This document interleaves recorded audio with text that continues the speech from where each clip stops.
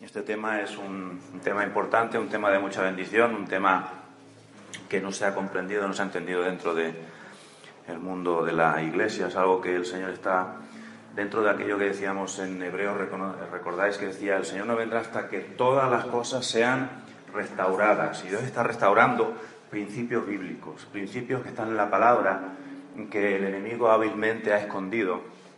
¿Para qué? Para que la iglesia no prospere al punto que quiere Dios que prospere.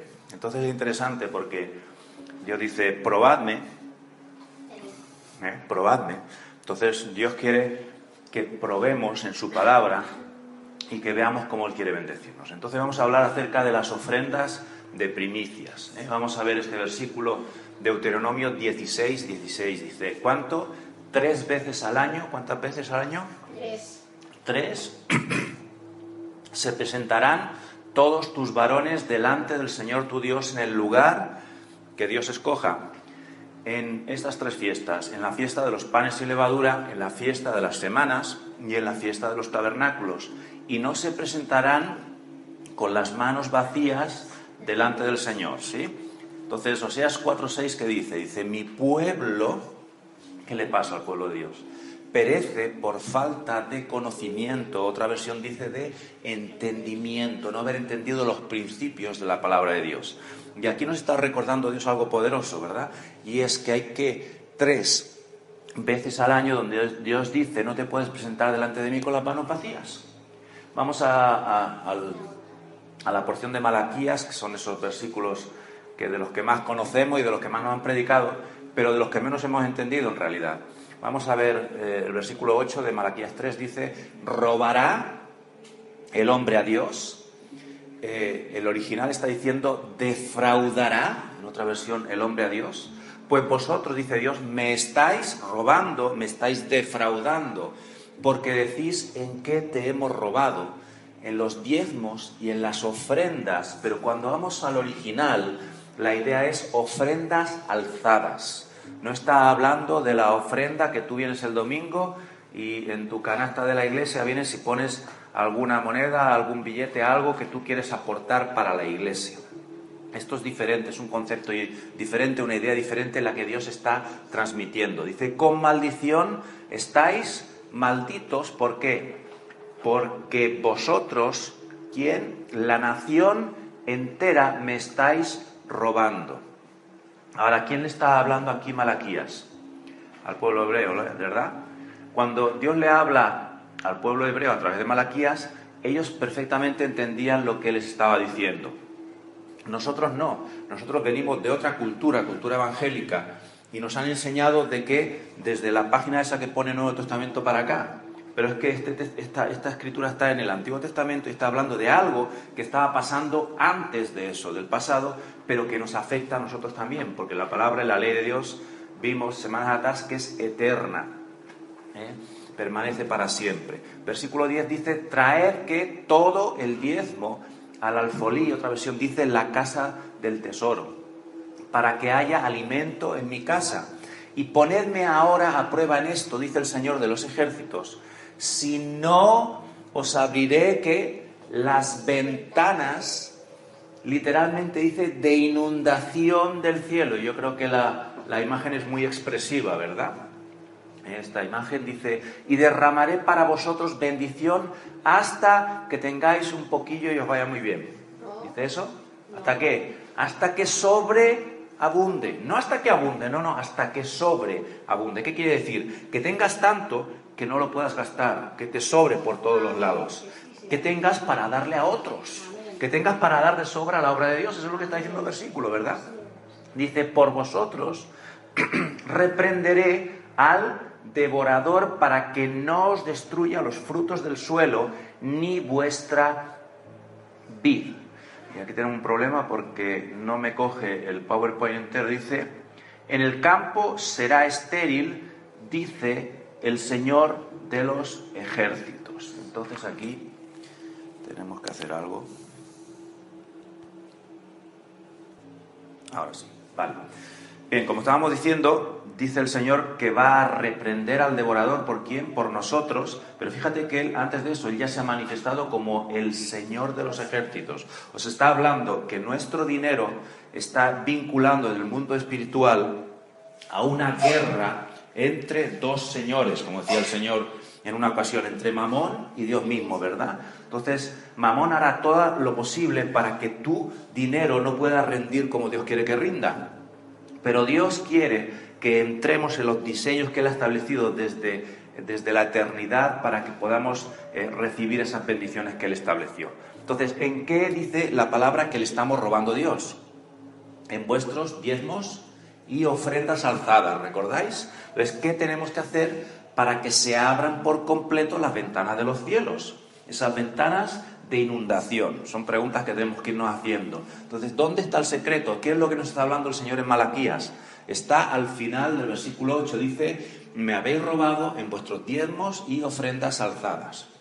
Ahí es donde tenemos que mirar y tenemos que eh, eh, analizar qué es lo que Dios quiere darnos a entender que hay una forma en la cual eh, Mamón nos gana ventaja, nos está venciendo y Dios quiere que sea vencido Mamón, no nosotros, que sea derrotado Él. Entonces, si el diezmo, si, si el diezmo y la ofrenda nosotros las damos al venir al culto, porque dice, bueno, hay creyentes que dicen, si, si Dios está diciendo que yo le robo en los diezmos y la ofrenda, pues yo doy mi, mi diezmo, yo vengo y doy una ofrenda en la canasta que hay en la iglesia.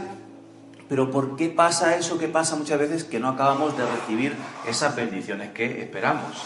Ese es uno de los motivos principales por los cuales muchos creyentes se desaniman durante un tiempo ofrendan, durante un tiempo diezman, pero dicen, total, y si no lo dicen con su boca, lo piensan con su mente y lo llevan a su corazón. Si Dios no me bendice, pues mejor ni doy el diezmo y quizás doy alguna ofrendita de vez en cuando para cumplir con mi conciencia, pero ya está.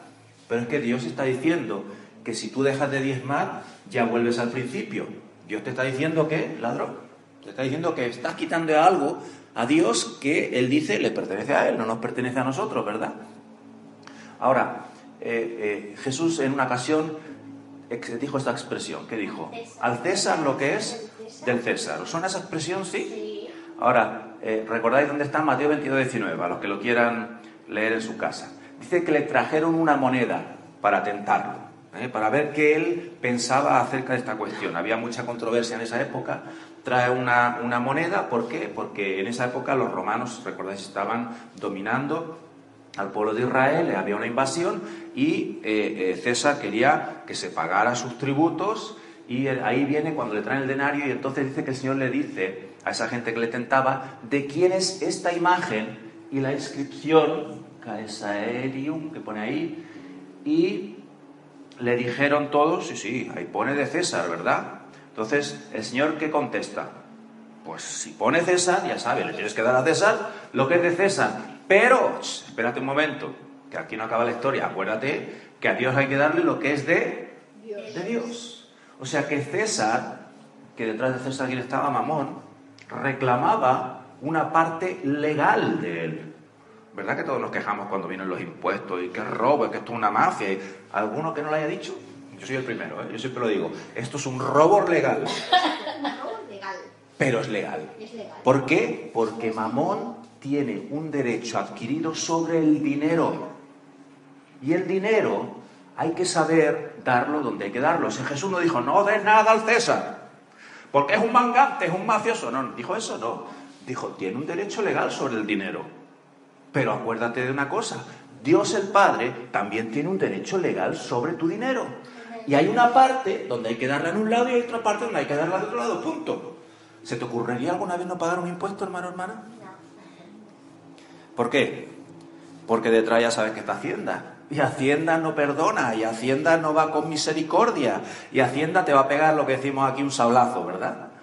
Y tú dices, por si acaso yo, aunque me duela el bolsillo, me la rasco y pago y se acabó y vamos a dejarlo ahí. Y luego le diré ladrón, mangante y de todo lo que tú quieras. Pero se lo pagas. Pero ¿por qué no hacemos lo mismo con Dios?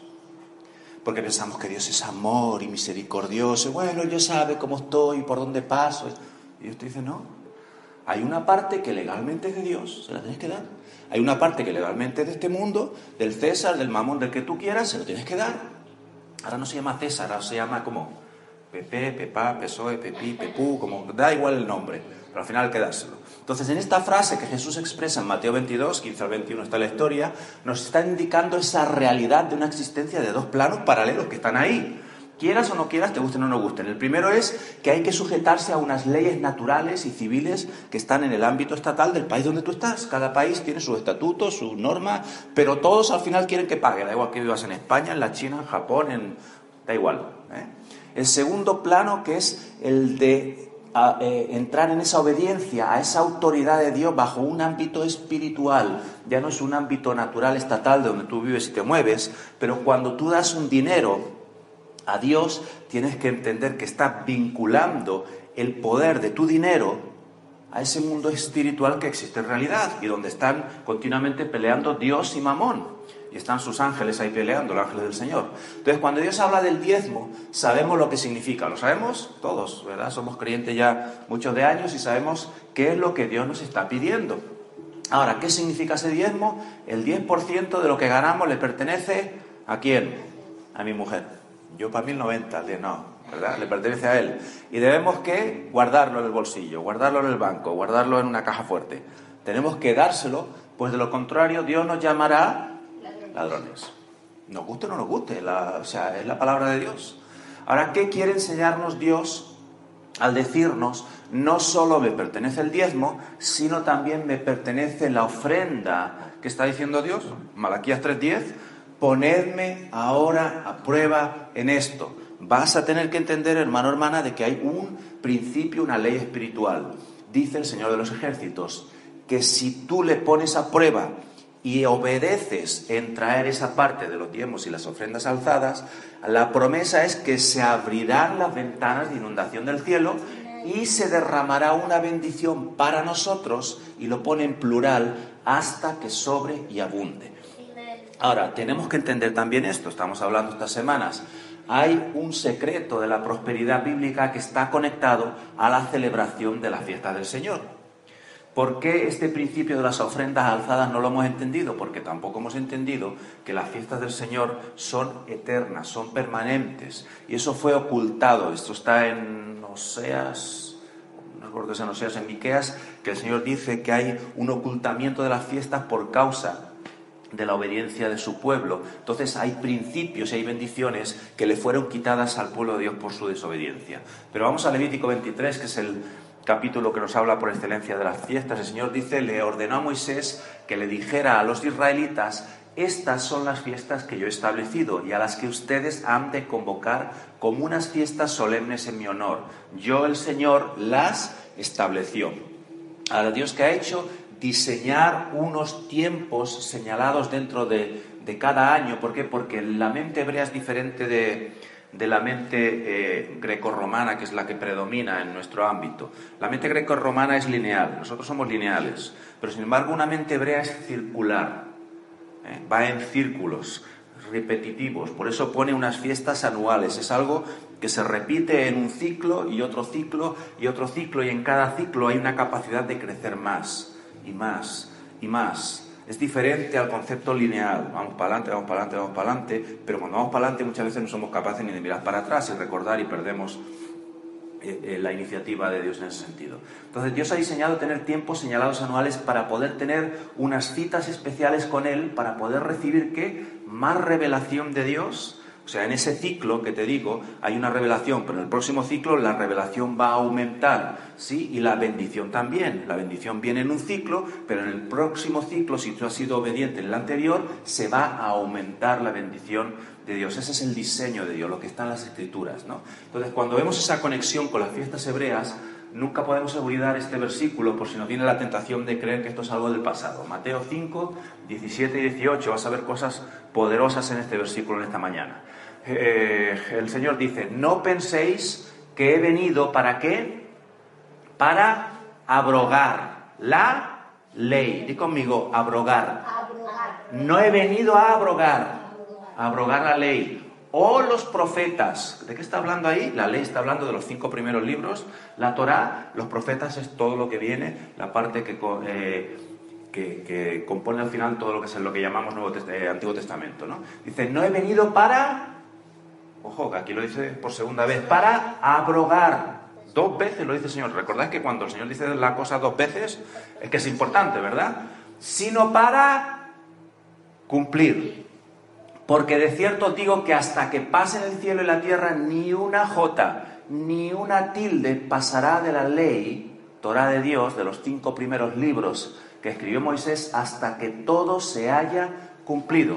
Así que, eh, eh, ¿qué está diciendo el Señor aquí? Que hasta que pasen el cielo y la tierra. ¿Cuándo pasan el cielo y la tierra? ¿Recuerda la historia? Al final de los tiempos, por causa de todo, dice que el Señor hará cielos nuevos y, y tierra nueva. Pero hemos llegado ahí.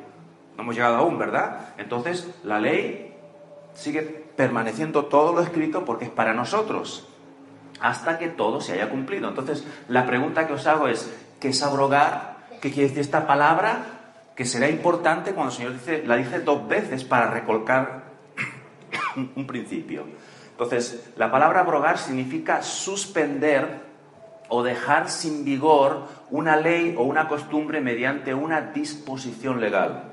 Es decir, en términos para que lo entendamos, es quitar una ley poniendo otra ley. ¿Sabes quién hace eso? Los gobiernos. Cuando entra el del PP y dice el del PSOE no me gustó la ley que hizo, ahora hago la ley del revés para mi conveniencia. Y ahora el otro sale y entra el otro al gobierno y dice, pero como la otra ley no me gustó, ahora la quito y ahora la pongo y la cambio y como a mí me da la gana. Dios dice en su palabra, no se puede suspender la ley de Dios no se puede dejar sin vigor la ley Torah de Dios. Es decir, lo que Moisés, Dios le dio por revelación y escribió él todos esos cinco libros, todo lo que queda escrito ahí, hoy aquí en 2019, tiene un vigor y tiene una legalidad. Y sigue funcionando donde? En el mundo espiritual al que nos movemos. Eso es lo que estaba diciendo eh, eh, Jesús en ese aspecto. Entonces, ¿qué estaba declarando él? Que la ley Torah de Dios hay unas llaves espirituales que nos van a conectar con esas bendiciones que Dios tiene preparadas para nosotros. Pero tenemos que entender dónde están las llaves espirituales. ¿Sabes dónde están?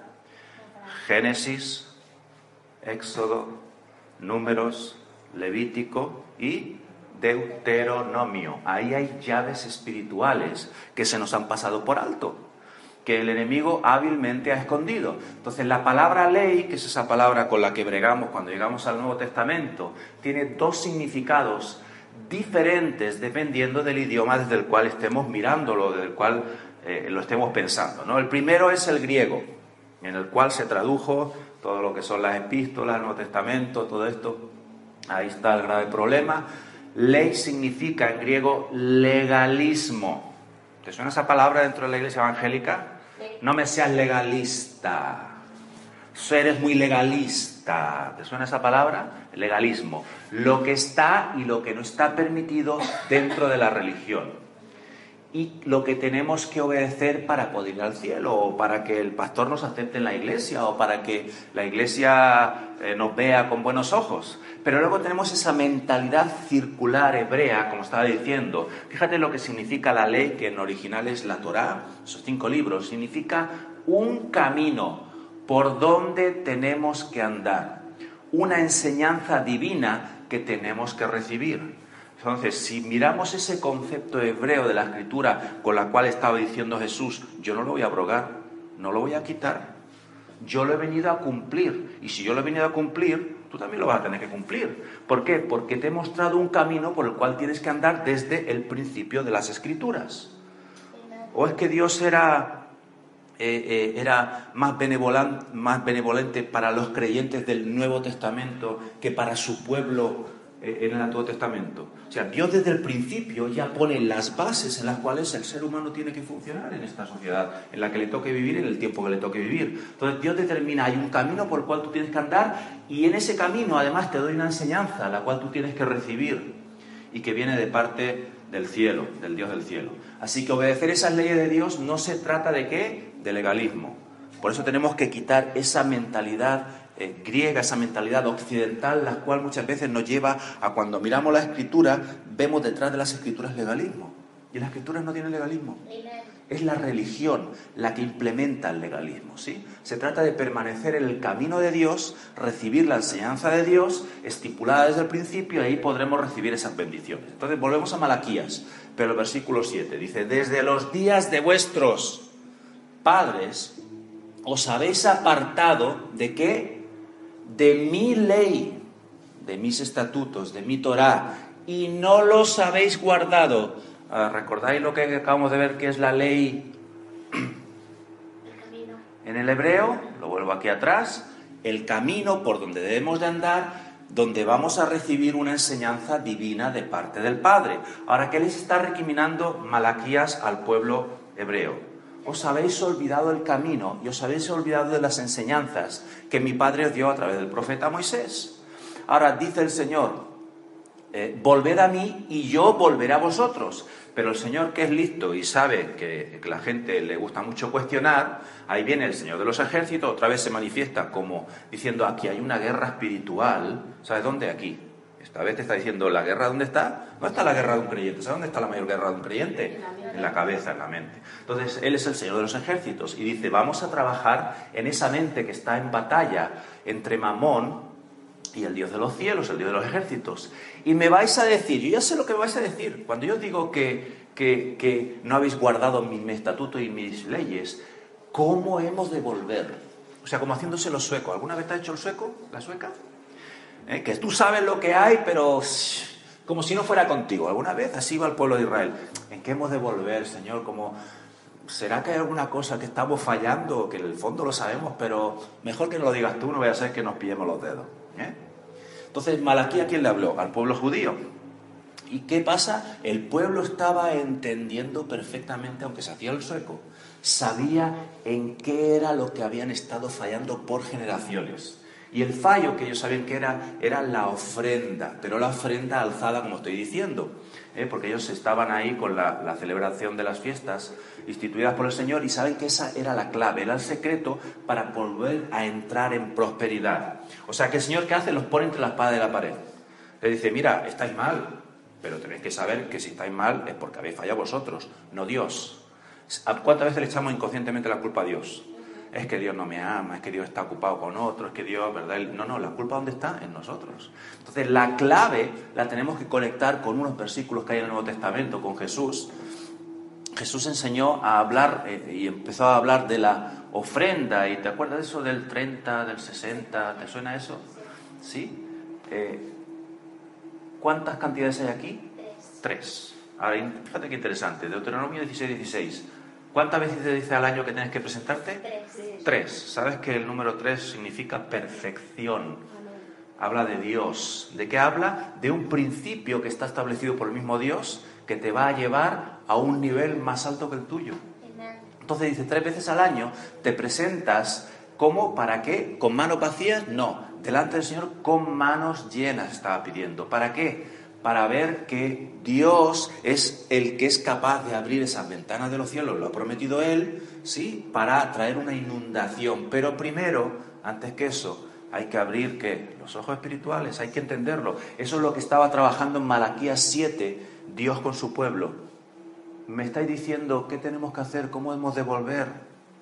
Eh, Dios estaba trabajando en su mente, en su corazón, para que se dieran cuenta que habían fallado gravemente, habían perdido algo que, que sus generaciones anteriores tenían. Y ese espíritu de Mamón se lo había robado hábilmente. Entonces, la verdad que conocemos y la que entendemos es la que nos hace libres. Por eso el Señor dijo, conoceréis la verdad y la verdad os hará libres. Esas son palabras del Señor, ¿verdad?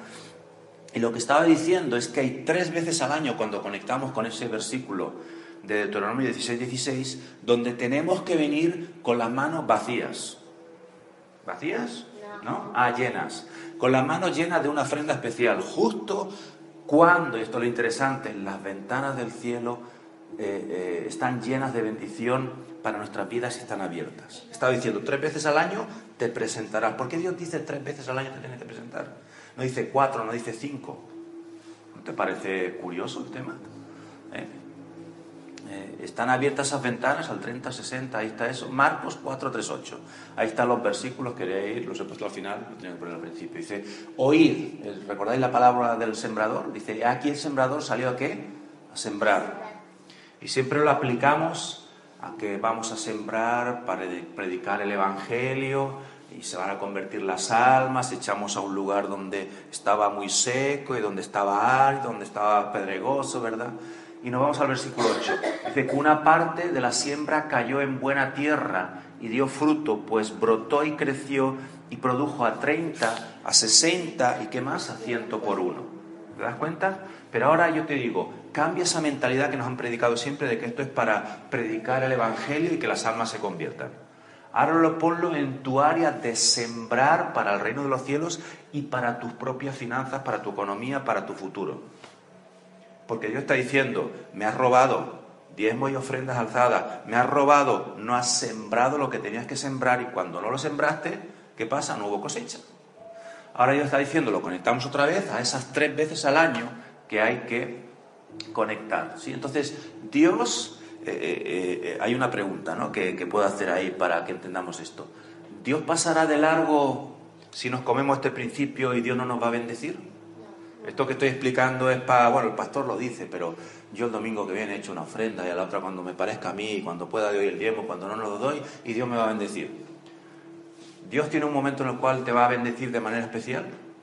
¿Lo hemos visto? Sí. Ahora, ¿te acuerdas de esta historia, la historia de Bartimeo? ¿Te suena? Lo entiendo. Este principio es interesante para que lo entiendas. ¿Qué pasaba con Bartimeo? Él, ¿qué oyó? Él era ciego, no podía ver, pero él sí que podía oír, tenía el oído muy, muy afinado por causa de ser ciego. Sabes que los, sentidos, cuando uno te falta, los otros los agudizan más, ¿verdad? Oyó a Jesús que pasaba por allí, por Jericó, y oyó a la multitud. ¿Y qué hizo? ¿Qué está pasando? Porque él oía milagro, maravilla, y decía, oh, se le levantó la antena a Bartimeo, ¿verdad? Y él pensó, ¿qué está pasando aquí? Y cuando le explican, Jesús está pasando y está haciendo milagros, Bartimeo entendió esto. Solo tenía una oportunidad para recibir su milagro. De hecho, la historia nos explica que Jesús solo pasó en su ministerio una sola vez por Jericó.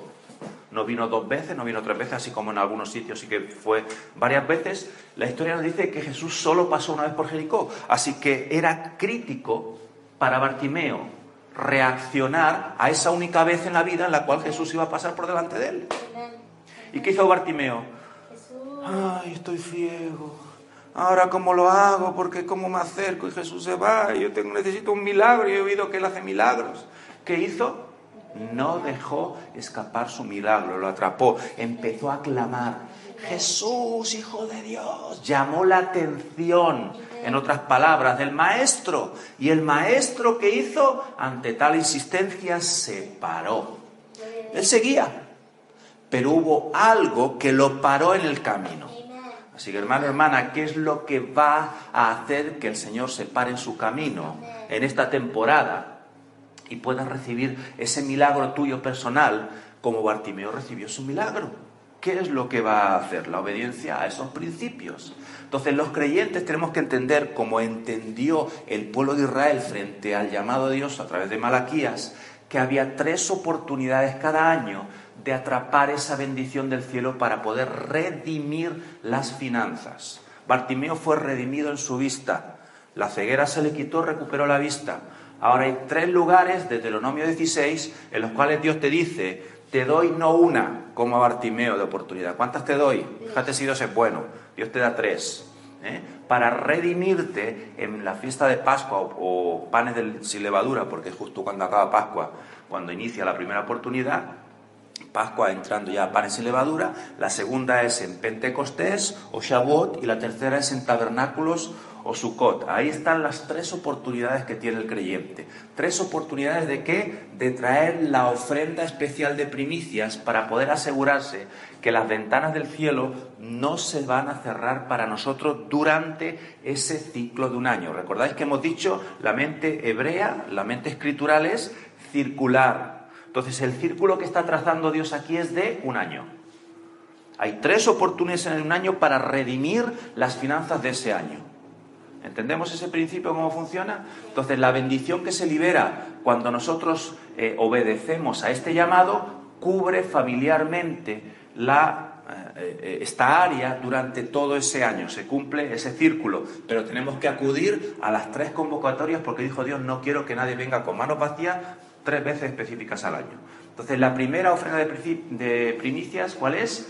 La ofrenda de Pascua conectada con los panes y levadura. Es el día justo después de acabar la Pascua, cuando inicia esa fiesta de los panes y levadura, cuando Dios está pidiendo la primera ofrenda de primicias.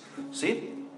Ahora, ¿por qué eh, esta ofrenda de Pascua nos la pide Dios ahí? Porque va a liberar tres bendiciones diferentes en nuestra vida. Tienes que entender que hay tres bendiciones que se liberan, pero también tienes que entender esto, que Jesús fue la primicia que dio el Padre para nosotros. Y por causa de esa primicia, cuando nosotros ahora traemos nuestra primicia, esa primicia viene avalada por la sangre del Cordero. Y el Padre la mira con agrado, y ahí es cuando se liberan esas tres bendiciones diferentes. Entonces, ¿por qué Jesús fue la primicia? ¿Recordáis? Jesús muere y al tercer día resucita y está escrito, Él es la primicia de todo, de todo, o sea, de todas las bendiciones que Dios quiera darnos, por causa de que Él se levanta como primicia, ahora tenemos un derecho legal al creer en Él de recibir también nuestras bendiciones cuando nosotros traemos nuestras primicias delante de Él. ¿Vamos entendiendo este concepto? Entonces, la primera bendición de las tres que se liberan, una medida divina de gracia para cada uno de nosotros. ¿Cuántas veces se ha predicado la gracia? Y entendemos que gracia es esto, un favor inmerecido e ilimitado de Dios. Y nos pensamos que por confesarlo ya la tenemos. La gracia nos viene sola del cielo así por arte de magia, de Señor, tu gracia, en el nombre de Jesús. Amén, pam, ya la tengo. Como tengo gracia de Dios, puedo andar por la vida como quiera, haciendo lo que quiera y no va a pasar nada. ¿Sí?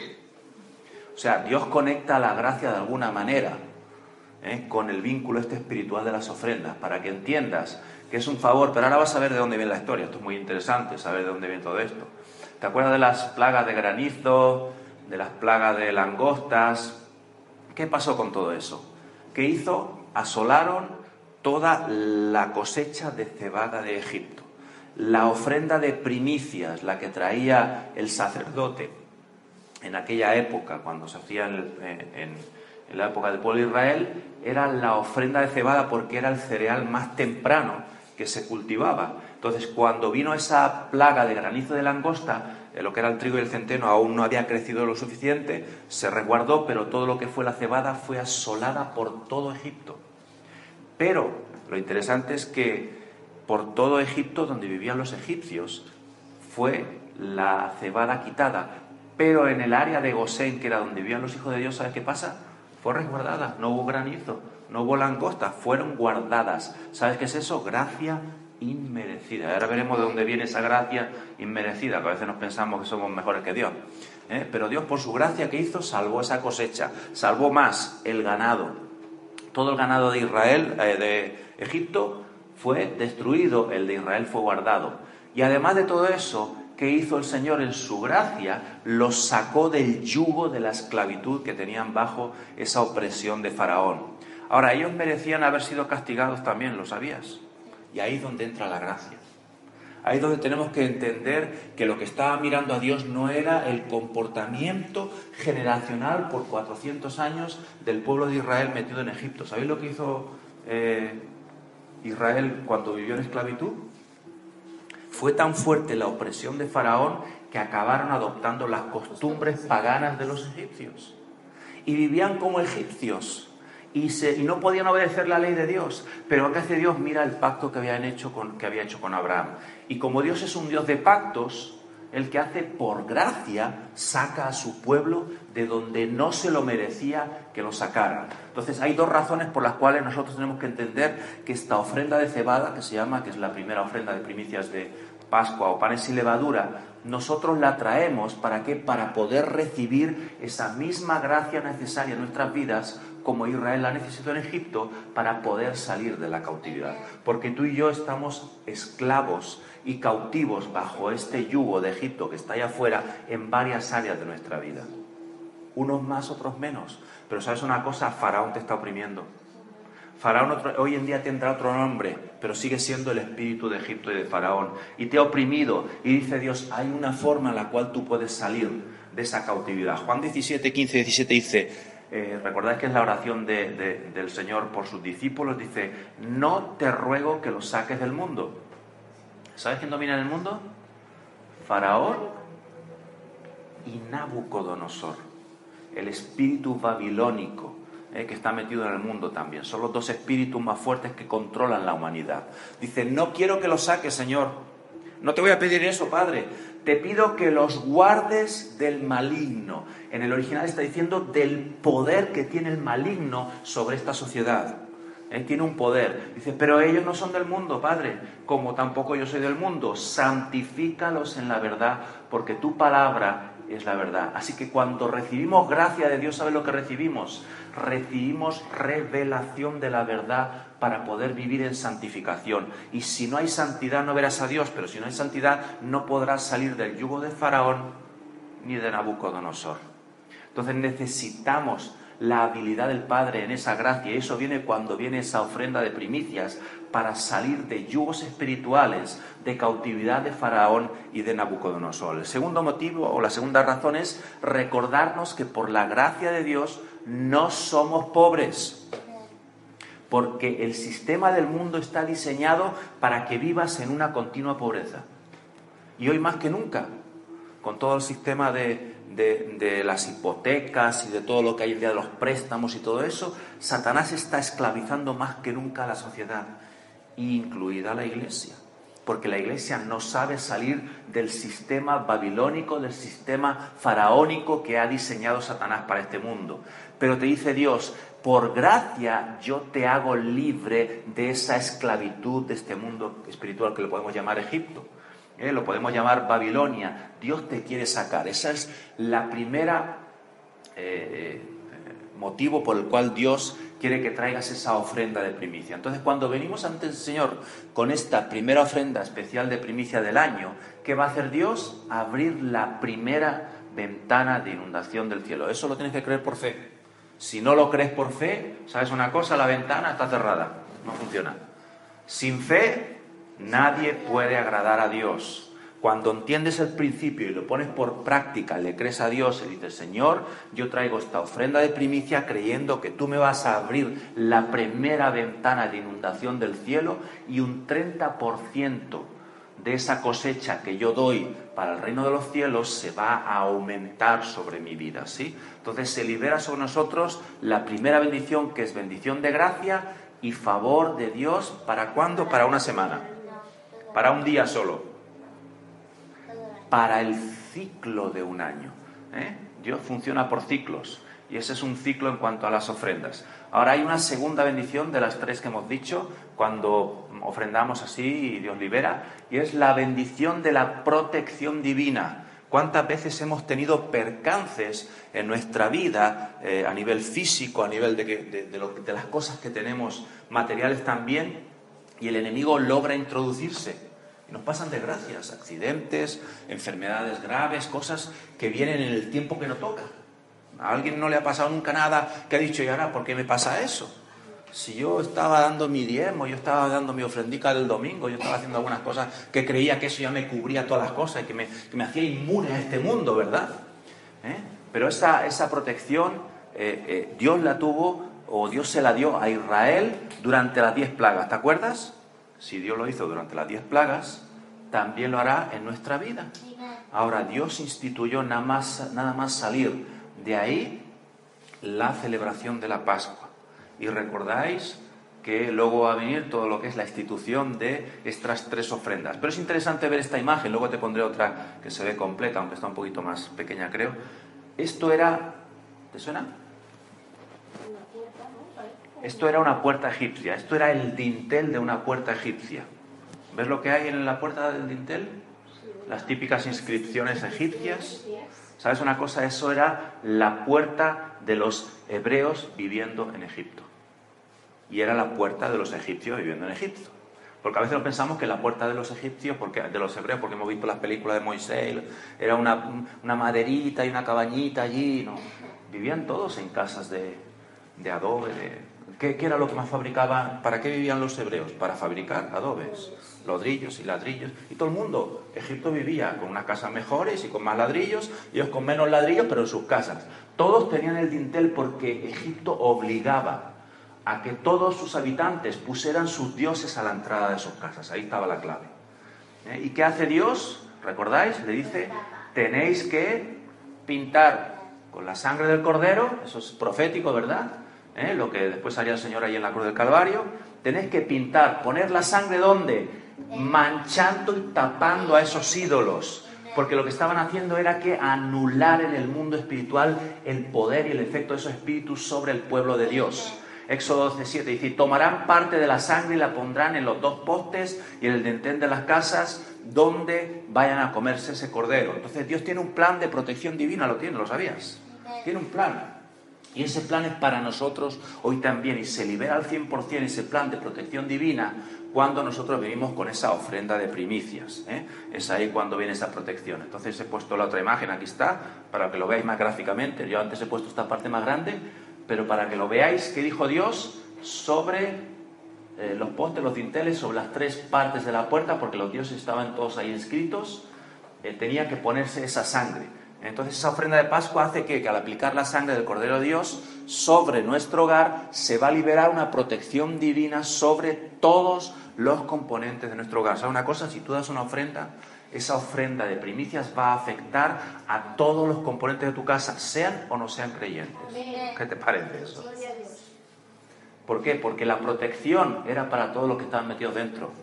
Por eso cuando clamas esa sangre del Señor sobre tu casa, que también la tienes que aplicar. Muchas veces aplicamos la sangre sobre nuestras vidas. Pon la sangre sobre los dinteles de tu casa, sobre las ventanas. Unge tu casa con aceite de vez en cuando. Y el diablo no va a entrar. Mira, cuando pongas tu ofrenda de primicias, unge tu casa. Me lo recordáis, lo vamos a hacer cada uno en su casa. Vamos a hacer eso, ungir la casa cada uno con aceitito, la con vinagre, no, con aceite. ¿eh? Y vamos a ungir la casa para cerrarle al diablo las entradas en el mundo espiritual, que no pueda entrar, que se quede ahí fuera chinchándose. ¿eh? Porque la décima plaga, dice la promesa, no va a afectar a nuestros primogénitos. ¿Para, a, quién, ¿A quién se cargó el ángel de la muerte? A los primogénitos de los que están fuera de Egipto. Las desgracias tienen que suceder fuera de la iglesia, no dentro de la iglesia. Así que clamo como pastor esta mañana la sangre del cordero y yo digo, las desgracias no entran al pueblo de Dios. Se quedan fuera, son para los que no honran a nuestro Dios. Amén. Así tiene que ser. Eh, me he saltado algo, perdona, que se me ha ido aquí el trocito del final.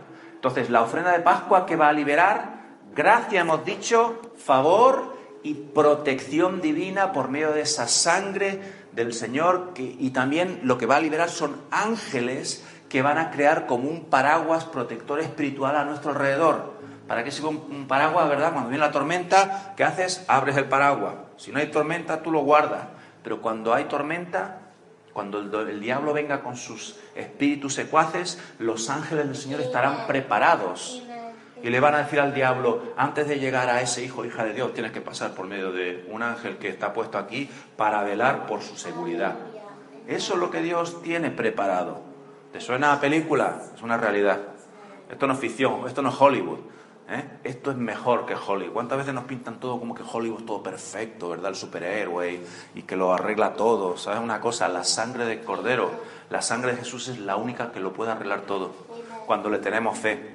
Y la tercera bendición que se libera por medio de esta ofrenda de primicias es que, esa palabra quizá te suene, favor divino. ¿eh? Que se libera. Pero ¿cómo se libera ese favor? Con tu prójimo, con personas que hay alrededor. ¿Cómo lo va a hacer Dios? Fíjate lo que es la palabra favor. Quiero que veamos dos palabras interesantes aquí. La palabra favor, ¿qué es? Privilegio, protección, ayuda que se presta arbitrariamente a una persona con autoridad, poder o influencia para otra persona. O sea, una persona que tiene autoridad, que tiene poder y que tiene influencia, viene a otra persona y de una forma arbitraria le da un privilegio, le da protección y le da ayuda. ¿Lo entiendes? Ahora me dirás entonces, si lo hace de forma arbitraria, ¿qué significa arbitrario? Vamos a esa palabra. ¿Alguien me lo explica? ¿Alguien lo sabe? Son palabras esas que las conocemos, pero no sabemos realmente lo que, ¿Verdad que hay palabras que las hemos escuchado toda la vida, pero realmente no sabemos qué quiere decir exactamente? Mira la palabra arbitrario, lo que significa. Algo arbitrario que depende solamente de la voluntad o el capricho de una persona y no obedece a principios dictados por la razón, la lógica o las leyes. Es decir, Algo arbitrario quiere decir que yo tengo el poder para hacer algo más allá de las leyes que yo mismo he impuesto. Yo vengo, impongo una ley y digo, todo el mundo lo tiene que hacer así. Pero en un momento, en un momento definido yo digo, ahora esa ley no hay que cumplirla. Contigo, contigo o contigo. Pero el resto sí. Eso es ser arbitrario. Es ser parcial.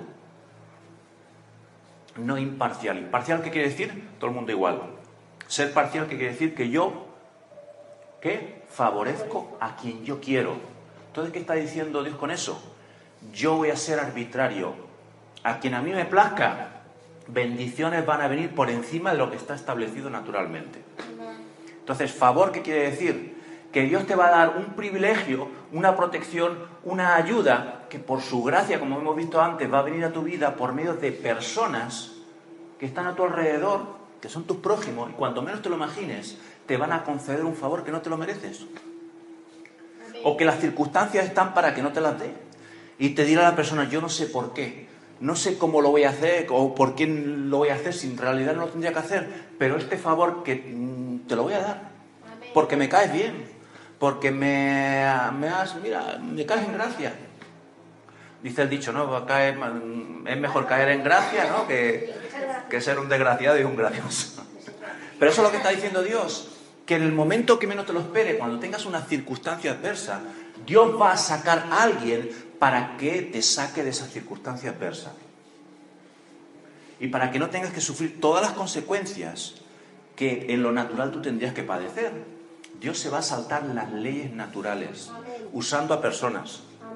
Va a traer protección divina. Te va a meter en lugares de privilegio. ¿Hay alguien que se esté emocionando? Éxodo 12, 35, 36. Dime de mí si esta historia no es para emocionarse. Dice, e hicieron los hijos de Israel conforme al mandamiento de Moisés. Le pidieron a los egipcios alhajas de plata y de oro y vestidos, y Jehová le dio gracia al pueblo de Israel delante de los egipcios, y les dieron todo cuanto pedían, así despojaron a los egipcios. ¿Sabes lo que es despojar a los egipcios? Dejarlos sin nada. No suele decir con los calzones puestos. Lo dejaron, se llevaron hasta la ropa. ¿Eh?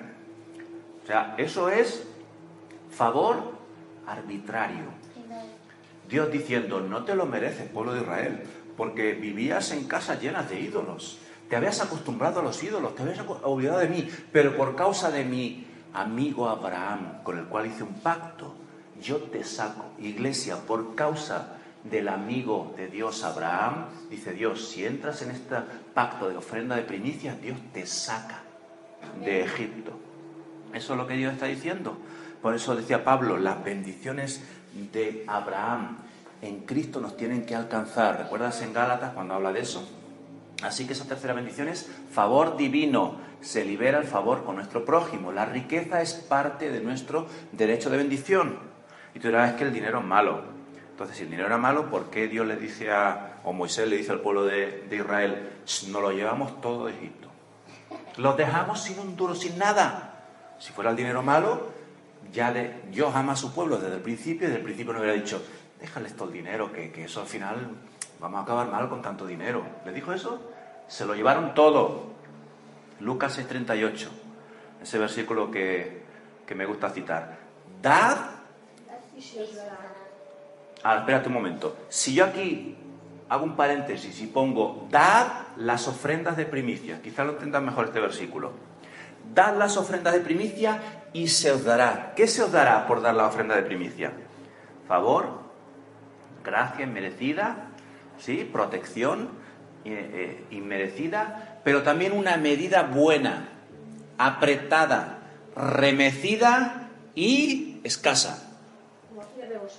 Y rebosando. ¿Qué quiere decir rebosando?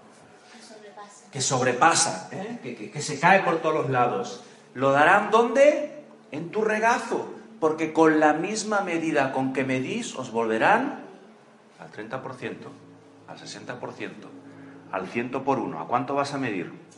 ¿A cuánto vas a sembrar? ¿A cuánto vas a dar tu ofrenda de primicias? ¿O te vas a quedar solamente con, bueno, no sé si esto se funcionará así? Mira esta otra versión, dice, den y se les dará se les echará en el regazo una medida llena, apretada, sacudida y desbordante. Te va a desbordar. O sea que Dios quiere desbordarte de bendición. Muchos dicen que esto de la, de, la teología, de la prosperidad y que Dios nos quiere. Entonces vamos a borrar este versículo que he leído antes de, de eh, Éxodo cuando salen y, y, se llevan todo lo de Egipto, ¿verdad? ¿Sabes una cosa? Dios quiere dejar sin un duro a Mamón. Mamón es el, dueño de la mayoría de las riquezas de este mundo, pero no son suyas, se las quitó al ser humano cuando le ganó la partida, la batalla a Adán y a Eva, ¿verdad? Entonces, la ofrenda de primicias que se entregan, ¿cómo se entregan? Se entregan aquí, el domingo. Aquí está otra clave que vas a entender. ¿Dónde se entregan? ¿En la bolsa? No. ¿Se entregaban dónde? Directamente al sacerdote. No se dan en la ofrenda en la bolsa de las ofrendas. Ezequiel 44:30, hay versículos, ¿eh? no me lo voy a inventar. Vamos a ver, dice, y las primicias de todos los primeros frutos de todo y de toda ofrenda de todo lo que se presente, de todas vuestras ofrendas, será de los sacerdotes. Asimismo, daréis al sacerdote las primicias de todas vuestras masas, para que repose la bendición en vuestras ¿Te das cuenta? Cómo Dios pone unas condiciones, una forma de entregar estas ofrendas. Eran tres ofrendas, pero había una forma de entregar esas ofrendas. ¿Para qué? Para que reposara la bendición. ¿Sabes lo que significa reposar la bendición? Que durante ese ciclo la bendición está y no se va. ¿Qué es lo que nos pasa a veces? Un día parece que estamos súper bendecidos y el otro día parece que estamos en el hoyo abajo del todo. ¿Verdad? Así que Dios ordenó que, y esto es interesante, las mejores ofrendas llegaran siempre a manos del sacerdote. ¿Entiendes la expresión mejores ofrendas? Fíjate Ezequiel 44, 30, te lo voy a dar, eh, es lo mismo que hemos leído, pero en la traducción en el lenguaje actual, otra versión. Dice, y también serán para ellos, para los sacerdotes, los mejores primeros frutos de las cosechas y lo mejor de todas las ofrendas. El pueblo deberá de darles también la peor masa para su... ¿Dice eso? No, pero dice la mejor masa para su pan. Si lo hacen así, yo bendeciré sus hogares. ¿Te das cuenta? Palabra de el pastor, ¿no? Palabra de Dios a través del profeta Ezequiel, uno de los más espirituales, de los que más experiencias tuvo. Ahora, ¿quién le estamos dando lo mejor para asegurar nuestra bendición entonces? ¿Te acuerdas la historia de Caín y Abel? Uno le dio qué? Lo mejor. Y el otro le dio lo primero que pilló. Lo que le sobraba. Lo que dijo, esto no me lo voy a comer, esto está a punto de podrirse, se lo doy a Dios y cumplo y se acabó. Ahora, ¿quién se llevó la bendición? A Abel lo mataron, pero la bendición no se la llevó Caín, que se llevó la maldición. No reposó la bendición sobre su vida ni sobre su descendencia. Se la perdió porque no le supo dar lo mejor a Dios. Así que desde el principio vemos que siempre Dios nos está enseñando principios espirituales que tenemos que aprender a aplicar en nuestras vidas para que la bendición repose en nuestro hogar cíclicamente. Porque la bendición es cíclica. A veces nos pensamos que porque Dios nos ha bendecido ya es para toda la vida. No, hay ciclos de bendición. Y tenemos que atraparlos en el tiempo de Dios. Porque hay momentos en los cuales la ventana se abre, pero la ventana hay momentos en los cuales se cierra. Y por mucho que tú quieras, si la ventana está cerrada, no cae lo que tiene que caer. Entonces tenemos que ser como quien, como Bartimeo. Cuando pasa el Señor por allí, ¡eh! Que quiero mi bendición. Tres veces al año dice el Señor, es el momento para decirle al Señor que quiero mi bendición. ¿eh? Aquí traigo mi ofrenda de primicias, papá, te la pongo ahí, se la doy al sacerdote y él hará la ofrenda alzada, la presentará al Padre y ahí se va a liberar ese ciclo de tres bendiciones en la primera de las tres fiestas.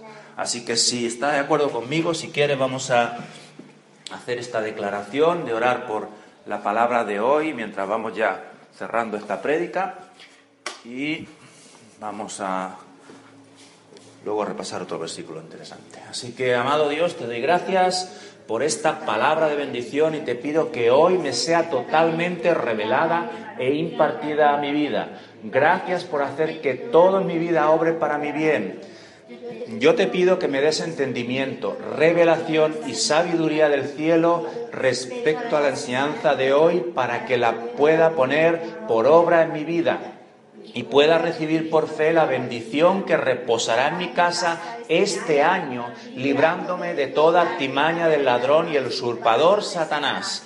Revélame el poder que hay en tus fiestas, en tus santas convocatorias, para que aprenda a honrarlas y festejarlas, trayendo más y más revelación de tu obra redentora a mi vida. Te alabo de todo corazón, Padre, hoy y siempre, en el nombre que es sobre todo nombre, Jesús Yeshua, el Hijo de Dios. Y la iglesia dice, amén, amén. Así que ah, vamos a orar por nuestros tiempos y ofrendas, pero simplemente hacemos un repaso rápido ya que se acerca esta fiesta de primicias, será el domingo que viene. ¿eh? Justo el viernes tenemos la celebración de la Pascua y dice que al acabar el, el sábado, bueno, ahora lo vemos aquí, fiesta de primicia, Levítico 23, 9, 14, está ahí, dice, el Señor le ordenó a Moisés que les dijera a los israelitas, cuando ustedes hayan entrado en la tierra que les voy a dar y siguen la mies, la cebada, deberán llevar a quién, a la bolsa de la iglesia, al sacerdote, ¿veis? Una gavilla de las primeras espigas que cosechen. El sacerdote mecerá la gavilla ante el Señor para que les sea aceptada la mecerá la mañana siguiente del sábado, de Shabbat, es decir, como Shabbat va del viernes a la noche al sábado al atardecer anochecer, desde el anochecer del sábado hasta el atardecer del domingo, ahí entran las primicias, o el primer día de panes y levadura, y entra la fiesta de las primicias, ahí es donde se trae esa ofrenda de primicias, ahí es donde está la ventana abierta durante cuántas horas? 24 horas. Ahí cuando está abierta. ¿eh? Entonces, la mecerá la mañana siguiente del sábado Shabbat, ese mismo día sacrificarán ustedes un cordero de un año. Eso nos habla proféticamente de invocar, a la vez que traes tu ofrenda, la sangre del cordero, la sangre de Jesús, como decíamos antes, eh, eh, sin defecto como un holocausto al Señor. No comerán, fíjate, esto es interesante, no comerán pan ni grano tostado nuevo hasta el día en que traigan esta ofrenda a su Dios.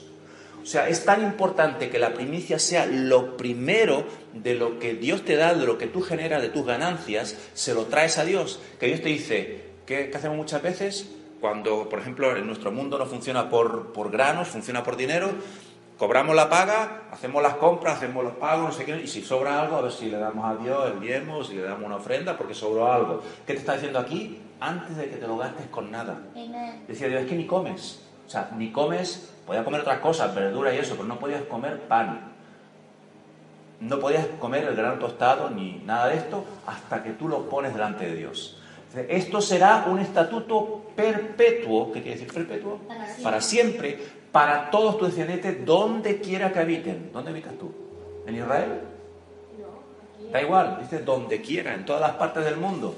Este principio está ahí vigente, ¿verdad? Entonces, ¿de qué hablamos cuando hablamos de ofrenda de de primicias, eh, estábamos hablando, dice que traerá una gavilla. Esto es para cada uno diferente, esto es lo que cada uno pueda entender. Si tu primicia puede ser, por ejemplo, entregarle al Señor eh, eh, el equivalente al, salario de tu primer día del mes. Eso sería una primicia, entregarle la primicia de tu primer día. Otro puede ser, no sé, has, tenido un ingreso extra y va a ser, o un ingreso que va a ser mm, permanente, pero dices el primera, la primera vez que lo que lo recibo, yo lo, entrego como una primicia para el Señor. O tú tienes una cantidad en tu mente y tú dices, pues yo quiero dar tanto, el 30% de mi ingreso, si es el 30 al 30%. Cada uno lo ve como lo quiera ver. La cuestión es traer una gavilla desde tu corazón, algo que le ofreces al Señor. ¿eh? Ahora recuerda el principio de la ofrenda, la ofrenda es algo que te duele. ¿Un euro de ofrenda duele? Que es lo que solemos meter muchas veces, o los cinco euritos que metemos con mucho en la ofrenda, a veces eso duele. La ofrenda duele. Al Señor le dolió tanto que le costó su vida, ¿verdad? Pero es una ofrenda que pones al Señor ahí. ¿Y la pones para qué? Para que traiga ese ciclo anual de prosperidad. Así que vamos a orar, vamos a cerrar esto por nuestros tiempos y ofrendas.